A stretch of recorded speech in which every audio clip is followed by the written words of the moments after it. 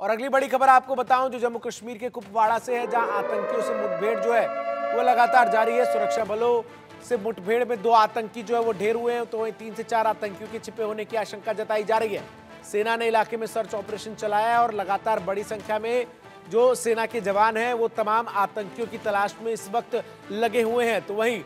दो से तीन आतंकियों को ढेर करने में भी सुरक्षा बलों के हाथ कामयाबी लगी है। लगातार जिस तरीके से जम्मू कश्मीर में सरहद के उस पार से आतंकियों ने घुसपैठ की, तब से वो इस बात की कोशिश में है कि किस तरीके से घाटी में जो मौजूद शांति व्यवस्था है, उसको भंग किया जाए। लेकिन जम्मू कश्मीर पुलिस के जवान हो या फिर पैरामिलिट्री फोर्स हो या फिर सेना के जवान हो, तीनों संयुक्त तो ऑपरेशन में लगातार जो अलग अलग टीमें बनाकर सर्च ऑपरेशन करते हुए नज़र आ रहे हैं। उसके तहत आपको बता दूँ, कुपवाड़ा में दो आतंकियों को मार गिराए जाने की खबर सामने आई है। तो वहीं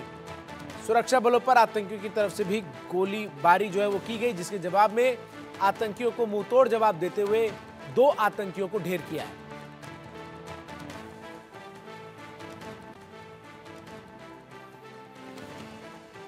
जम्मू कश्मीर में आपको बता दें, आठ तारीख को तीन चरणों में संपन्न हुए विधानसभा चुनाव के परिणाम सामने आए आने और ऐसे में जो आतंकी है, वो लगातार इस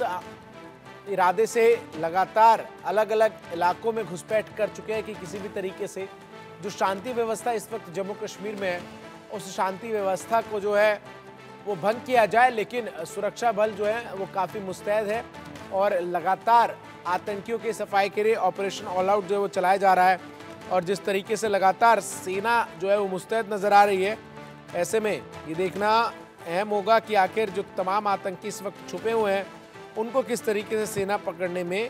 कामयाब होती है या फिर उनको उनके सही अंजाम तक सेना जो है वो पहुंचाती है, ये भी अहम देखना होगा। लेकिन फ़िलहाल जो बड़ी खबर मैं आपको बता रहा हूँ, जहाँ कुपवाड़ा में दो आतंकियों